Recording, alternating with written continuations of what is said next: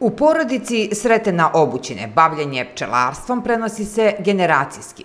Uz godinama skupljeno iskustvo i saznanja o pčelama, počeo je sreten obućina da proučava i sve ono što je savremena nauka i savremena medicina i zapadna i istočna, rekla o pčelama, medu i njihovom blagotvornom dejstvu.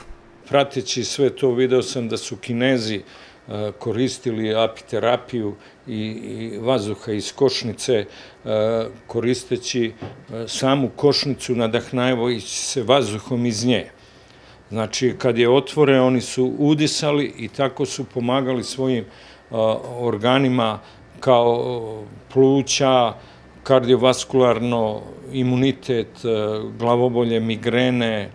Međutim, ovaj deo zapadnog sveta je to pretvorio, malo modernizovao i pretvorio u, u, u jednu tehniku i doveo u, u, tipa ovih komora.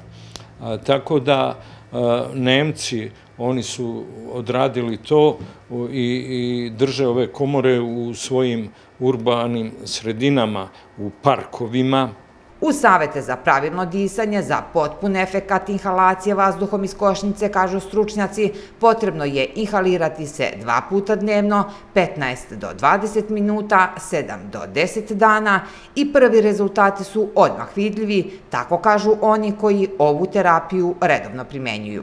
Pošto sam ja već 40 godina pušač, ja sam konkretno kod ovog vrste inhalacije došao do tog stadijuma prestanka pušenja i verovatno ću se oporaviti i pluća će mi mnogo bolje ovaj, izgledati posle ove inhalacije.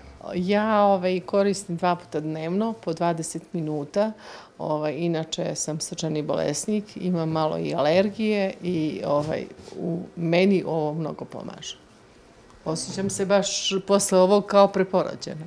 I meni ovo odgovara plućima i neću moći i protiv prehlade će mi pomoći uvek, neću kašljati i, jet, to je za mene najbolja stvar na svijetu. Apiterapija u najkraćem je upotreba pčelinjih proizvoda u službi zdravlja.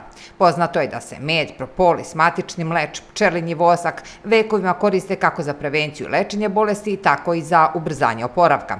Apiterapija inače registrovana je kao metoda tradicionalne medicine pri sekciji za tradicionalnu medicinu Srpskog lekarskog društva.